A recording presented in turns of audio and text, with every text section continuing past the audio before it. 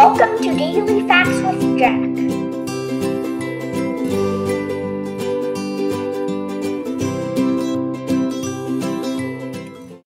Today, we are not doing shoutouts or doing a birthday celebration. For my buddy, Grady Huftabo, happy birthday! Happy birthday to you! Episode 22. It's an earthquake! Everybody, hide!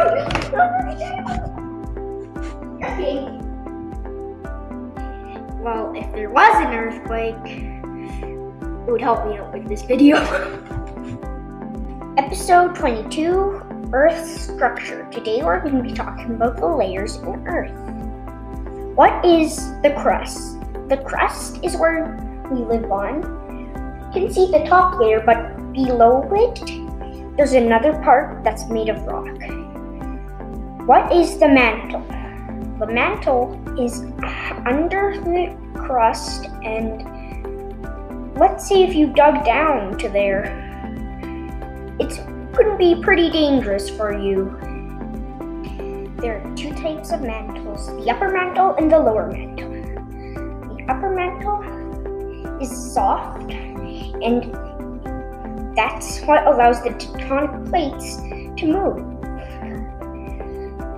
and the lower mantle is solid and extremely hot. And now let's go to the outer core. The outer core is basically made of iron and nickel, and it's the only totally liquid layer in Earth. What is the inner core? The inner core was formed by all of the other stuff pushing down on it. It spins faster than any other layers, and scientists think that's what causes Earth's magnetic field. Have a nice day! Mmm, that's good crust.